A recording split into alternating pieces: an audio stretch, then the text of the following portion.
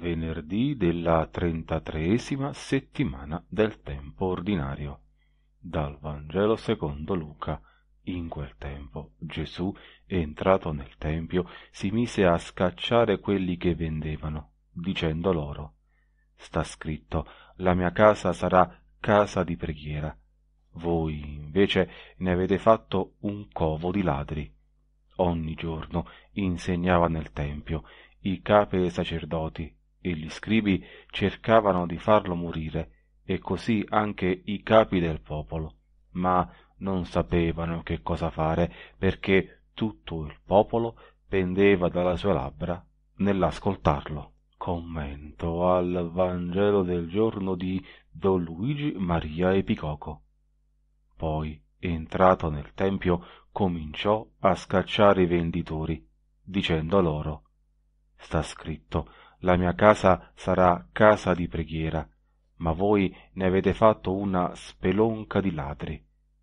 Pregare e rubare dovrebbero essere due verbi da tenere costantemente a distanza. Non si può tenere insieme la logica dell'amore con la logica del possesso e non si può vendere e comprare mai sulla pelle di chi cerca di sentirsi amato e di sentire un significato alla propria vita. I mercanti che Gesù scaccia dal Tempio non riguardano il passato e non riguardano persone diverse da noi. Gesù parla di noi, parla di quei mercanti che tutti ci portiamo dentro e rovinano la relazione con Dio applicando logiche matematiche di merito, di debito, di dare e avere. È dentro di noi che dobbiamo liberare il Tempio da venditori e mercanti.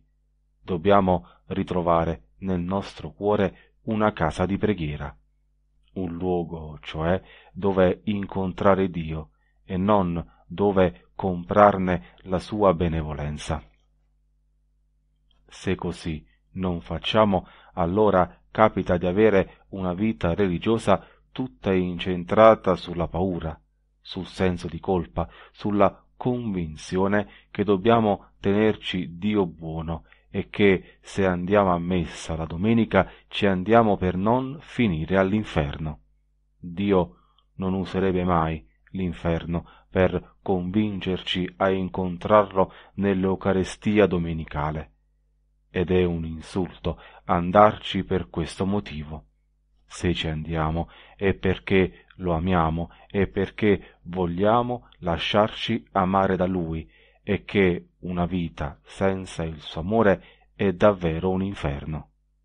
Noi, ad esempio, senza la messa domenicale non possiamo vivere, ma paradossalmente siamo liberi anche di non andarci.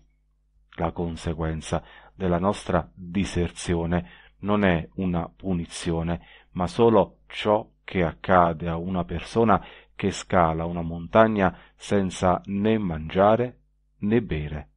Se sviene non è per punizione divina, ma per logica conseguenza di una sua scelta.